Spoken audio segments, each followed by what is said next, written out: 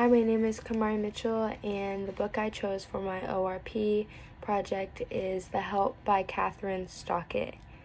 I chose this book because I found it very interesting as well as ed- educational because of how the author went more in depth about what people of color went through after segregation ended in the early 1960s, especially more like focused on the women and the only job that they were offered, which is housekeeping and taking care of white people's babies and cleaning their houses.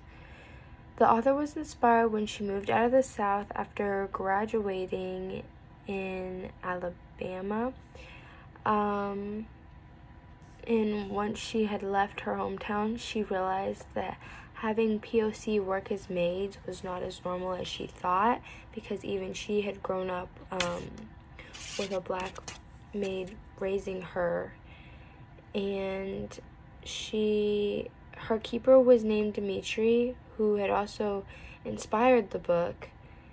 And after publishing The Help, Stockett professed that she was in disbelief that it took her 20 years uh, to realize how unjust POC were being treated solely for their skin color, and the main reason for her writing the book was to understand why it, she never saw the duplicity of things happening in the South and why it was so normalized. The Help is a historical fiction book based in Jackson, Mississippi in the early 1960s. The book focuses on three characters Aibileen, Minny, and. Miss Skeeter, or Aibileen, uh, narrates the entire book. It's in first person, and Aibileen and Minny are both two maids in Jackson, Mississippi, and they're caring for two uh, white families. Miss Skeeter just graduated college, and she is um, she's going back to Jackson, Mississippi to work again, and she goes back to her family's cotton plantation and realizes the maid who uh, raised her is no longer there, but she had been there her whole life. So, um, but no one tells her what happened to her or why she's missing. So, later in the story, you find out what happens. But, um, so Skeeter Eugenia, which is her first name, tries to live up to her mother's expectations and act like a woman, act proper. Um, but she just doesn't really fit in with the rest of the girls and she really wants to be a writer. So she um, she uh, finds a job at the at Jackson's newspaper and she gets a small task to talk about housekeeping in Jackson, Mississippi. And she's a privileged white woman who, I mean, she doesn't know a thing about cleaning because she's had a housekeeper her whole life. So she goes to Aibileen, a maid she's familiar with, and tries to ask about what housekeeping is like for her. And the more Aibileen opens up about it, the more Mosquito realizes that there was like a lot she didn't know about and a lot of racism racism going on and that it was more than just a job to make money. Um, so it was a lot more than she had expected, and her goal is to find 12 other uh, black women to speak out about their experiences. Um, and Minny is also one of those women.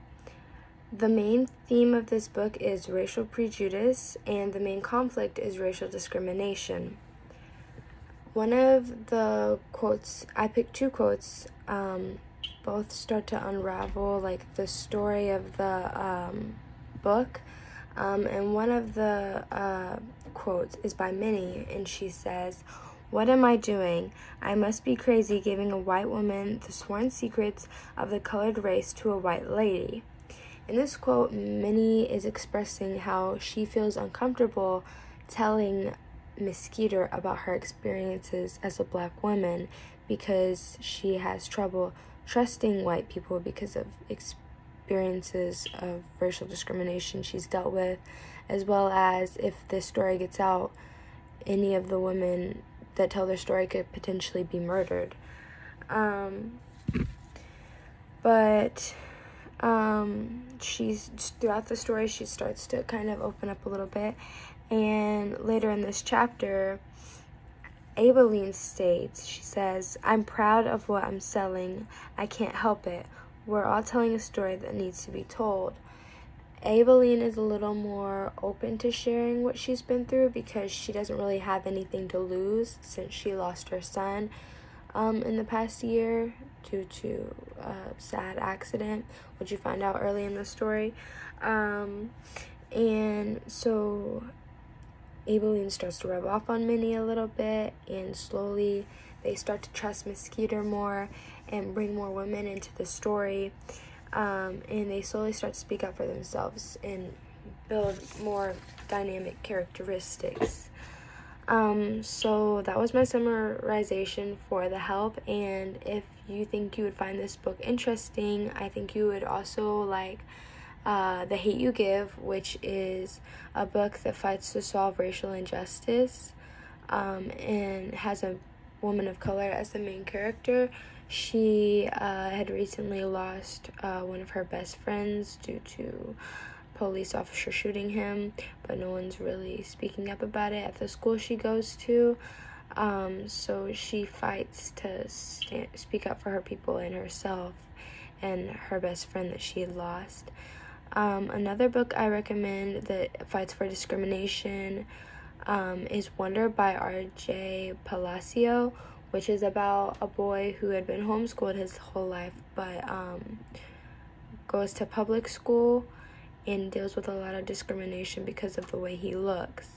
Um, and last but not least, I recommend Water for Elephants by Sara Gruen, which is also good and deals with an orphan who leaves the orphanage and joins a bunch of other outcasts in the circus.